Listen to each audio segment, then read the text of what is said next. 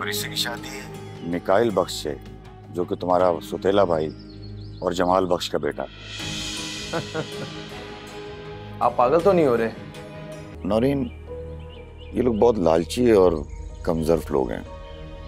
मेरा नहीं ख्याल कि हमारी उनसे बन सकती है। अल्लाह पाक तुम्हारी नसीब अच्छे करे बेटा। तो फिर अगले महीने की चौबीस तारीख को इंशाल्लाह। मुबारक हो।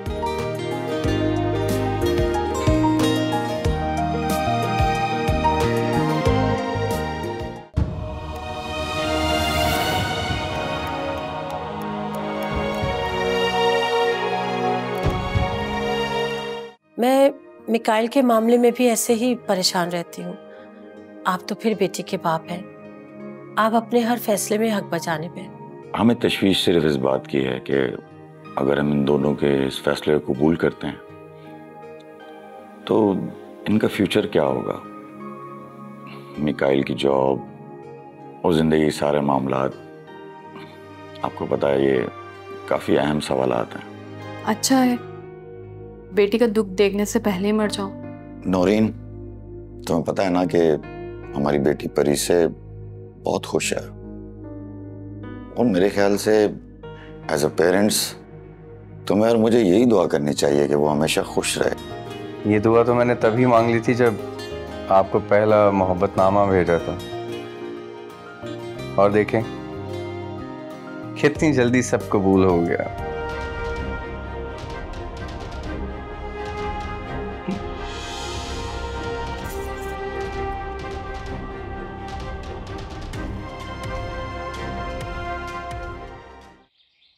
अस्सलाम वालेकुम मिकाइल भाई। कैसे हैं आप? मैं बिल्कुल ठीक हूँ। और आप बताएँ, शादी कर रहे हैं आप? बस, हमें सब खबर होती है। आपने तो बताना भी ज़रूरी नहीं समझा।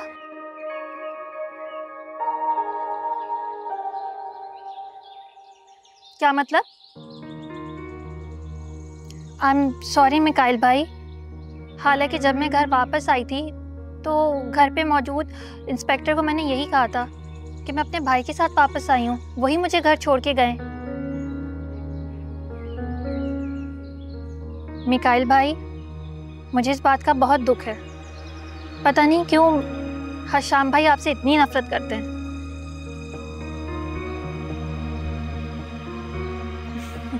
हाँ मिकाइल भाई, मुझे भाभी भी देखनी है मुझे उनसे मिलना भी है।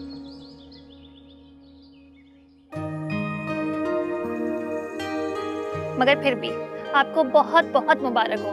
मेरी दुआ है कि आप हमेशा खुश रहें।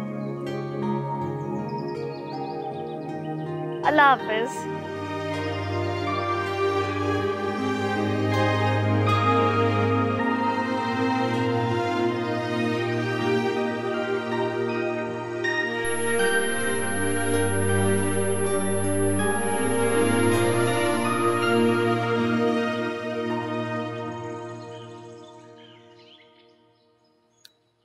संभल कर मामा? आओ इधर। बैठे मामा? बाबा चले गए? हाँ उन्हें थोड़ी जल्दी थी चले गए वो। कोई काम है तुम्हें उनसे? आपने नाश्ता कर लिया? नहीं। आज हम दोनों इकट्ठे नाश्ता करें? नहीं मेरा मूड नहीं है। तुम्हारे लिए बनवा देती हूँ। मामा? मामा?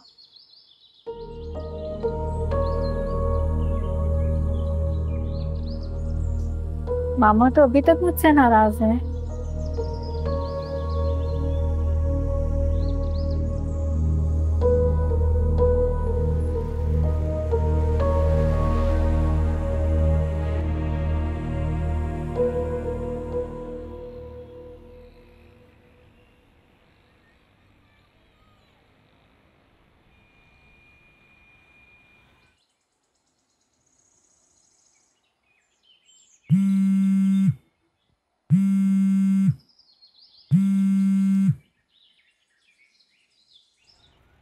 हेलो अंकल कैसे हैं आप?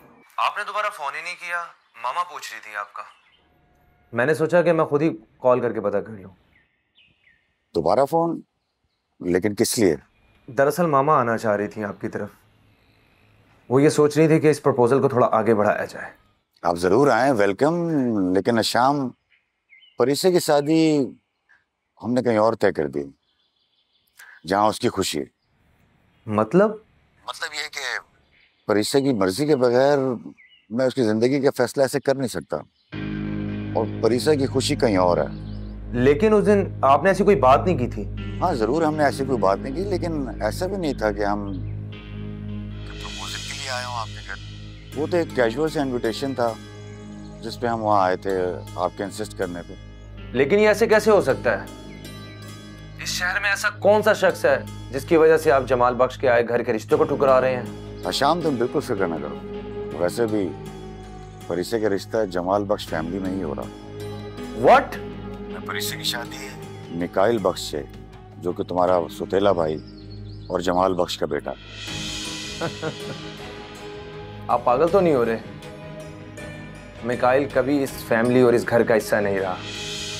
और आप क्यों अपनी अंधी बेटी की? शादी एक अंधे लड़के से करवा रहे हैं। आप पागल तो नहीं हो रहे?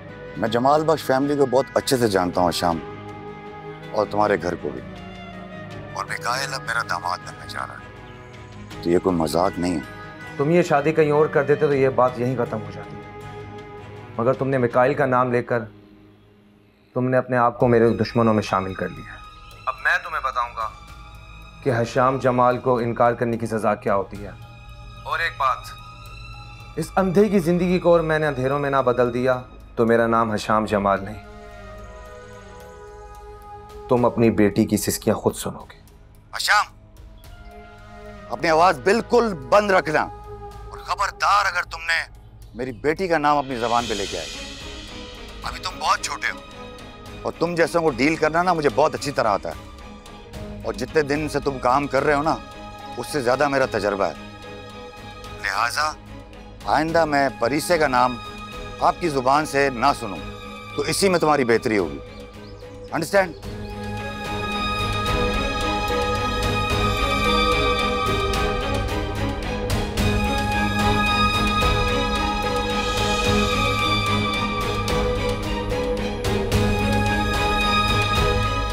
अम्मी?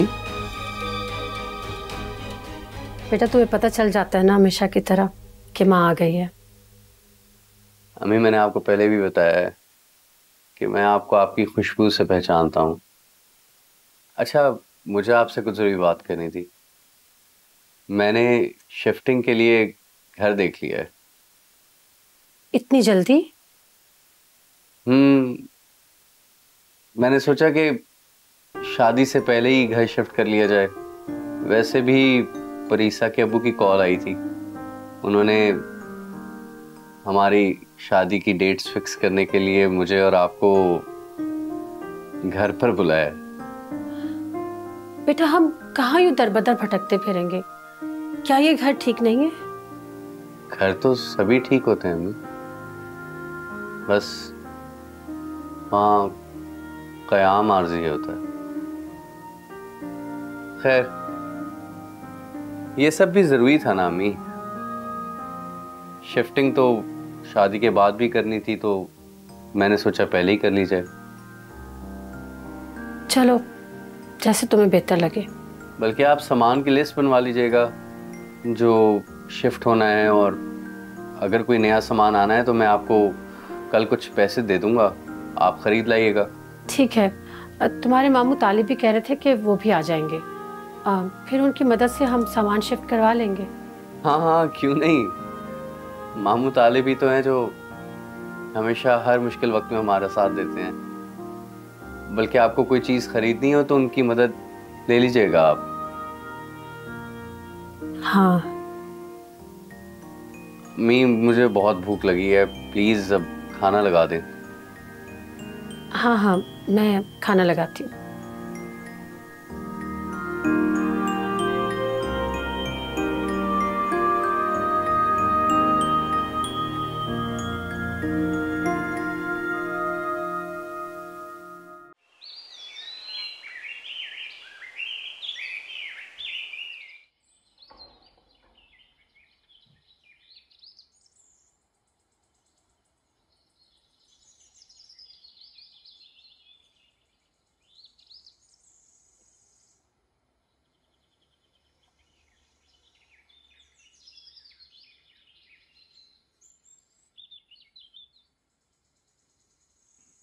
अरे आप यहाँ बैठे हैं? जी मैं यहाँ बैठी हूँ। आज अब जल्दी आ गए? बस ऑफ़िस का काम था। क्या बात है कुछ परेशान लग रहे हैं आप? परेशान तो नहीं हो बस थोड़ी ऑफ़िस की थकन हो रही। चाय बनाऊँ आपके लिए? चाय भी पी लेंगे। अगले हफ़्ते ना मैंने मिकाइल को घर बुलाया। शादी की डेट पक्की करना और उसकी कॉल आई थी उसने फ्लैट भी देख लिया और शादी के बाद इंशाल्लाह वो उसी फ्लैट में शिफ्ट हो जाएँगे। तो उनका क्या सोचा है जिनके हम लंच पर गए थे? अगर उनकी कॉल आ गई तो? उनकी तरफ़ से फ़ोन आ गया मेरी कल शाम से बात हुई है। तो फिर आपने क्या कहा? तो कहना क्या था? और वैसे भी हम उनके अगर शादी के नियत से तो नहीं गए हमारा तो ऐसा कोई प्लान नहीं था और अच्छा हुआ ऐसे लोगों से हमारा रिश्ता जुड़ना भी नहीं चाहिए। ना हमारे इनसे बन सकती है। और शाम को असल में गुस्सा इस बात का नहीं कि हमने उसको इनकार कर दिया बल्कि उसको गुस्सा इस बात का है कि हमने उसके भाई मिकाइल से रिश्ता जोड़ लिया और यही चीज़ उसको प्रॉब्लम कर रही है। और इसीलिए वो शायद मुझसे बदतमीजी भी कर रहा है। क्यों? उसने आपके साथ बदजुबानी की है क्या? जी। और अब घबराए नहीं मैंने उसे शटअप कॉल भी दे दी अच्छा वो जब हमने परिसा का रिश्ता माने किया? पता नहीं उसके साथ क्या सलूक करते। उनकी मिकाल से लड़ाई चल रही है। हो सकता है इसीलिए वो थोड़ा जज्बाती हो गया हो। नौरीन बेगम मैंने सारी ज़िंदगी ना लोगों के चेहरे पढ़ने में लगाई है। और जो शाम है ना जैसा नज़र आता है वैसा है नहीं। इज़ फ्रॉड झूठा है ये। एक मेटर्निटी होम में भी मैंने इसे किसी लड़की के साथ देखा था। और मैंने पता करवाया है हॉस्पिटल के सारे बिल भी शाम के नाम पे हैं। नौरीन, ये लोग बहुत लालची और कमज़ोर लोग हैं। मेरा नहीं ख्याल कि हमारी उनसे बन सकती है। और वैसे भी परी से बहुत अक्लमंद और दानिशमंद बच्ची है। उसका जो भी फैसला होगा, वो इंशाल्लाह बेहतर ही होगा। बस इंशाल्लाह अगले हफ़्ते मिकाइल लोग आ रहे हैं और आप शादी की तैयारियाँ करें। मैं ज़रा फ्रेश होने जा रहा हूँ। ठीक है?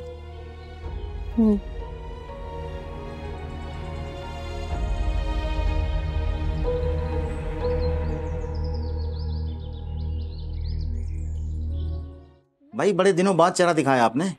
कहाँ गायब हैं? कुछ नहीं सर बस वो घर पे कुछ काम ऐसे निकल आए थे कि वर्किंग स्लो हो गई थी। लेकिन अब अल्हम्दुलिल्लाह। ठीक है। नाइस वंडरफुल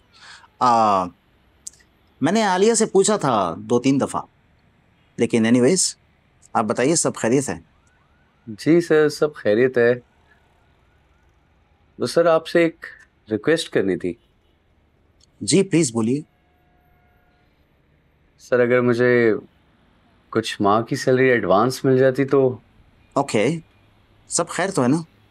जी जी सर सब खैर है बस वो एक्चुअली मैं शादी करने का सोच रहा था और सच कहूँ तो जल्द ही करने वाला हूँ। अरे वाह, मिस्टर। ये तो बड़ी अच्छी खबर है। It's such a good news मैं भी बोलूँ कि वो मिकाइल जो कभी छुट्टी नहीं करता, अचानक ऑफ़िस से गायब गायब रहने लगा तो ये बात है। डोंट यू वरी मैं अकाउंट डिपार्टमेंट से बात करता हूँ। और जितनी जल्दी हो सके आपका काम करते हैं। Thank you so much sir thank you so very much अरे भाई थैंक यू की क्या बात है? ये तो बड़ी अच्छी खबर है। बस शादी का कार्ड आ जाना चाहिए। अरे सर क्यों शर्मिंदा कर रहे हैं? ज़रूर क्यों नहीं? आ, मुझे इजाज़त है सर। चलता हूँ आपका बहुत शुक्रिया मेरी गुजारिश ठीक है। करने के लिए। ठीक है। थैंक यू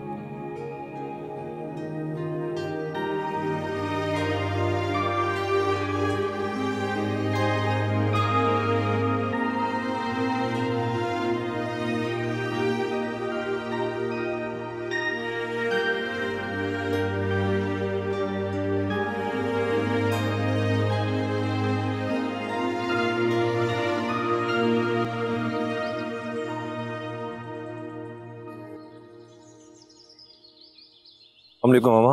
वालेकुम अस्सलाम। मामा वो पैसे रखवाए थे आपके पास? हाँ। वो दे दें मैंने बैंक में जमा करवा अच्छा बेटा मैं बात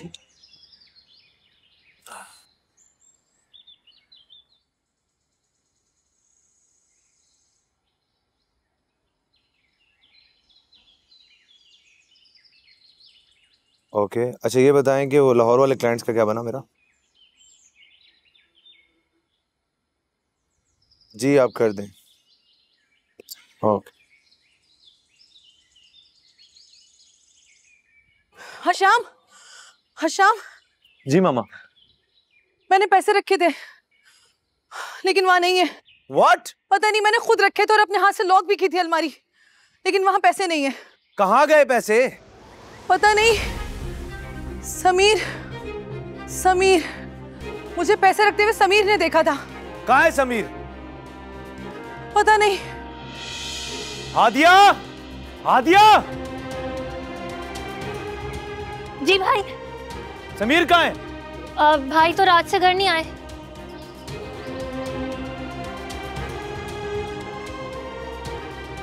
हशाम हशाम मेरी बात सुनो। हशाम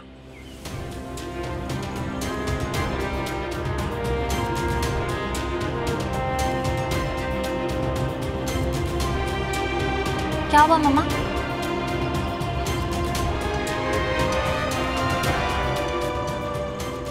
आपने खाना खाया? नहीं बेटा मैं तो तुम्हारा इंतज़ार कर रही थी। हमें कितनी दफ़ा आपको कहा है कि आप मेरा इंतज़ार मत किया करें और टाइम पे वक्त पे खाना खा लिया करें। कौन सा वक्त बेटा? सारा वक्त तो मेरा तन्हाई में गुजर जाता है। तुम्हारे बाबा के बाद बस ये तन्हाई तो मिली है मुझे। तुम्हारे साथ भी बस ये खाने में नाश्ते में ही वक्त गुजरता है। तुम चाहते हो कि वो भी तन्हाई की नज़र हो जाए? नहीं अम्मी मेरा ये मतलब नहीं था। मैं समझ सकता हूँ। अच्छा अब से मैं कोशिश करूँगा कि आप और मैं एक साथ ही खाना खाएँ। अरे खाना गर्म करने रखा था कहीं जल ना गया। मैं लेकर आती हूँ।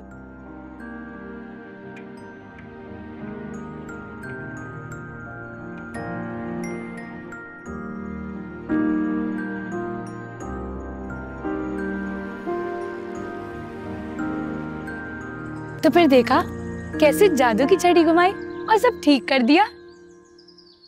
साल, मामा, अभी भी दिल में बहुत सी बातें छुपाए हुए हैं।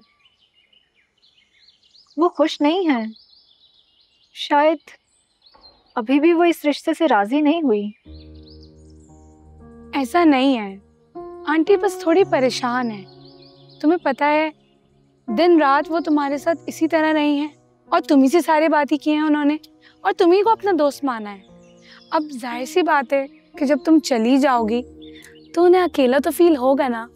साल, मैं मामा के साथ अपनी दोस्ती कभी खत्म नहीं करना चाहती।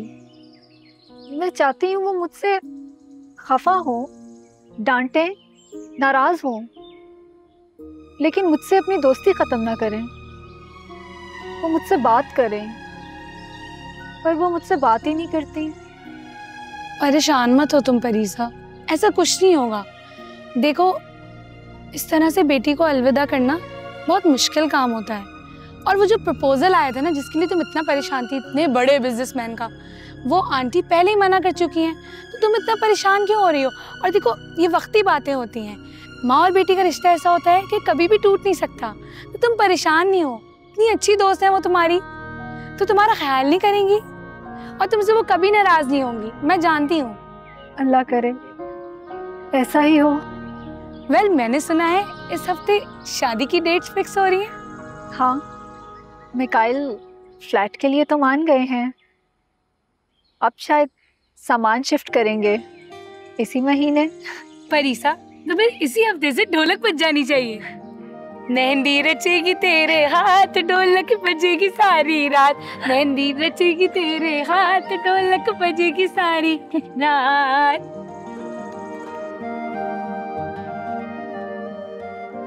बहुत हो गया मामा। इस लड़के ने नाक में दम करके रखा हुआ है। पूरा शहर ढूंढ के आ गया, इसके दोस्तों में ढूंढ के आ गया हूँ। इस लड़के का कोई अता पता नहीं है। और क्या कोई अपने घर में चोरी करता है?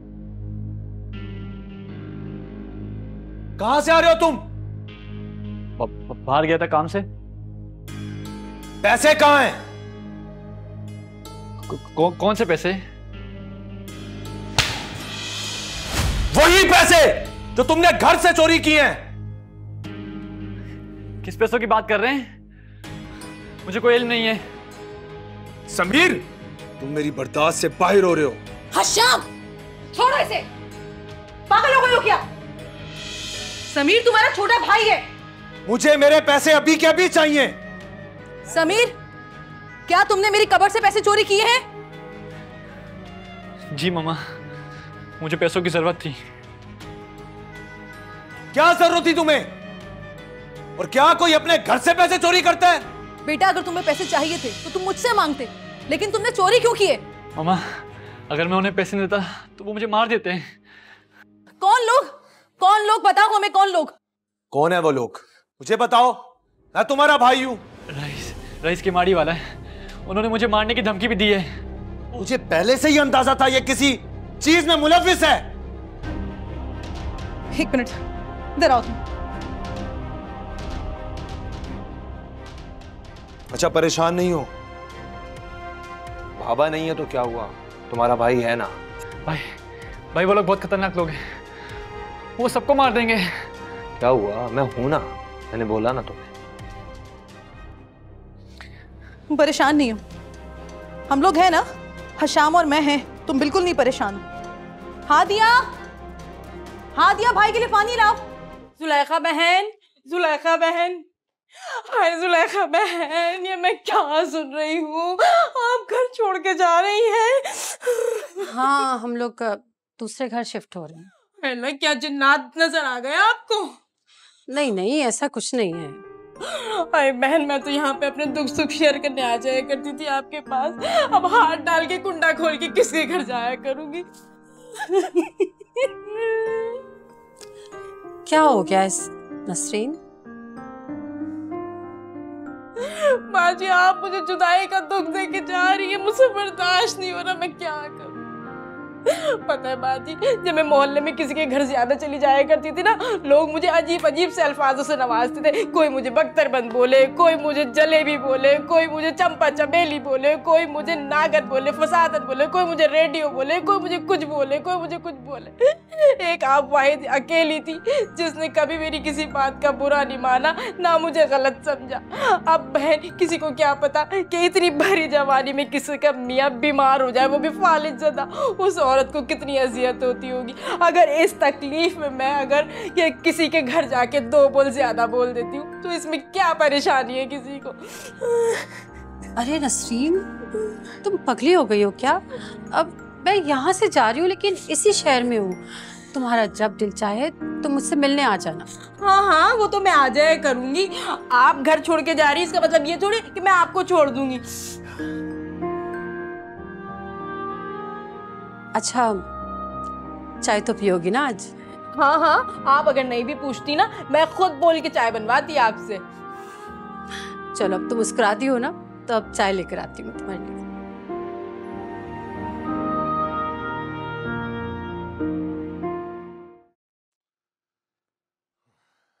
जी अशान साहब फरमाइए। इंस्पेक्टर बात उन चंद पैसों की नहीं है। बात उस घिनौने खेल की है, जिससे मेरे भाई की ज़िंदगी तबाह हो रही है। लिहाजा आप उसे यहीं रोक दें और वैसे भी ऐसे जराइम पेशा नासिर के खिलाफ कार्रवाई करना और भी ज़रूरी है। अशाम साहब, हम आपके साथ पूरा ताउन करने के लिए तैयार हैं। मगर एक बात आप जहन में रखिएगा। तीर एक बार कमान से निकल गया तो फिर वापस नहीं आता है। आपको साबित कदम रहना होगा।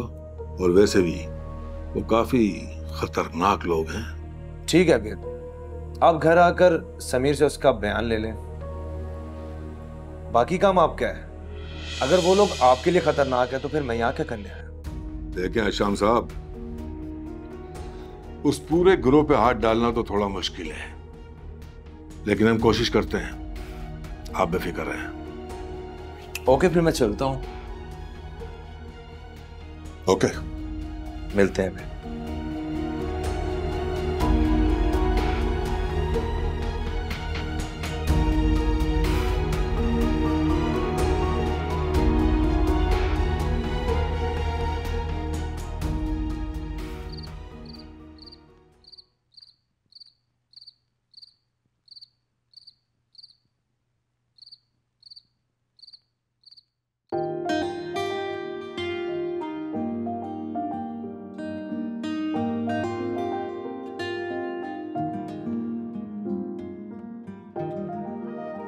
आपकी इजाज़त है रस्म शुरू करें। बिल्कुल। मिकाइल बेटा।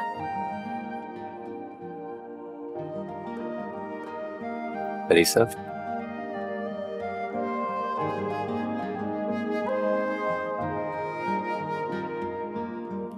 माशाल्लाह।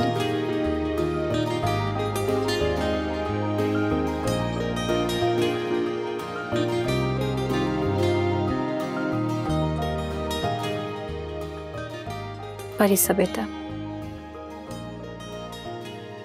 मिकाइल बेटा?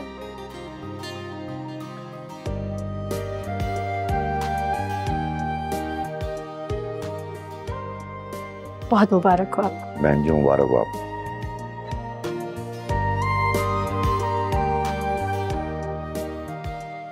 परिसा बेटा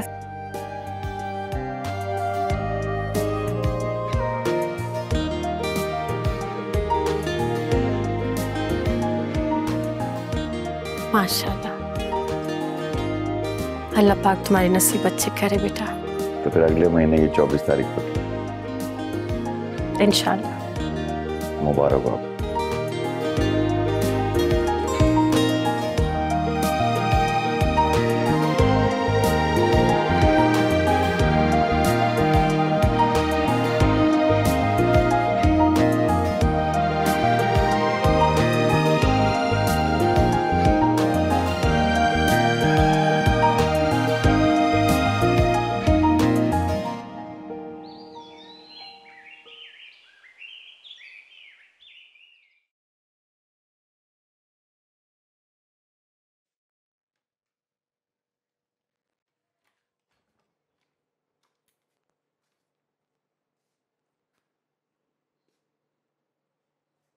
मामा?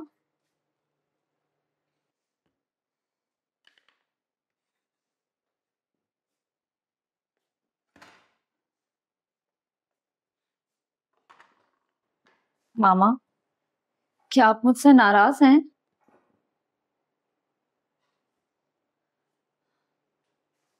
प्लीज़ बैठें। मुझे बात करनी है आपसे।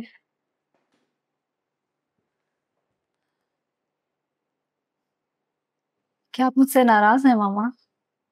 मेरे नाराज़ होने या ना होने से किसी को क्या फ़र्क पड़ता है? औलाद अगर खुद मुख्तार फैसले करने लगे ना तो माँ बाप का खामोश रहना ही बेहतर है। हम आपसे किसने कह दिया कि मेरे फैसले सिर्फ़ मेरे हैं? मामा मैं तो आप लोगों पर डिपेंडेंट हूँ। आप लोगों का हिस्सा हूँ। हाँ मैंने एक काम ज़रूर किया। मैंने अपनी पसंद आप लोगों के साथ शेयर की। और मुझे मालूम होता कि आपको इस रिश्ते से एतराज़ है तो मैं मैं कभी उन्हें घर पे नहीं बुलाती। जब बाबा ने उन्हें घर पर बुलाया तो मुझे लगा कि, मुझे लगा कि शायद बाबा ने आपके साथ डिस्कस करके ही ये फैसला किया होगा। मुझे अंदाज़ा नहीं था मामा कि आप इस रिश्ते से खुश नहीं हैं। लेकिन मामा, मैं कोई भी फैसला आप लोगों को नाराज़ करके तो नहीं कर सकती ना? आप हाँ बोले या ना बोले, आखिरी फैसला आप लोगों का है। मैंने बचपन से आज तक आपके साथ किसी बात के लिए जिद की है जो जो मैं इस बात पर जिद करती। परी से ज़िंदगी की हकीकतें बहुत तल्ख हैं। तुमने जो खुद के लिए फैसला किया है, वो तुम दोनों के लिए दुश्वारियों का बायस हो सकता है। इस दुनिया में आसान क्या है मामा? बिना देखे कहे जाना, बिना बोले सुने जाना, या फिर बिना दिल के जिए जाना। मगर हाँ अगर रिश्तों में खलूस की मिलावट हो तो शायद नुकसान के चांसेस कम हो जाते हैं। मुझे तुम्हारी इन्हीं बातों से डर लगता है जो तुम में हर दुख सह जाने का हौसला है। इसी चीज़ से मुझे डर लगता है। ये हौसला भी तो मुझे आप ही ने दिया है ना मामा? आप ही तो थी। मेरी केयर टेकर मेरी पहली टीचर मेरा स्कूल मेरी बेस्ट फ्रेंड मामा, ये सब कुछ मैंने आप ही से तो सीखा है। और यकीन जानिए, अगर अगर अभी भी आपको इस रिश्ते से एतराज़ है तो तो हम इसको यहीं पे ख़त्म कर देते हैं। क्योंकि मेरे लिए आप और बाबा सबसे पहले हैं, बाकी सब कुछ बाद में। से, मुझे हमेशा से तुम्हारी खुशी अज़ीज़ थी इन हालात में मैं बेसाख्ता सोच का शिकार हूँ बेटा, कोई भी माँ बाप अपने औलाद के लिए बुरा नहीं चाहता। हूँ बस थोड़ी सी मैं जज्बाती हो गई थी। ट्रस्ट में मैं तुम्हारा बुरा बिल्कुल नहीं चाहती। मुझे प्लीज़ माफ़ कर देना। मैं समझती हूँ मामा, मैं जानती हूँ। आपसे बढ़कर मुझे कोई नहीं प्यार कर सकता। आपसे बढ़कर कोई मेरी खुशी नहीं चाह सकता। मैंने आपका दिल दुखाया ना मामा आप आप प्लीज़ मुझे माफ़ कर दीजिए।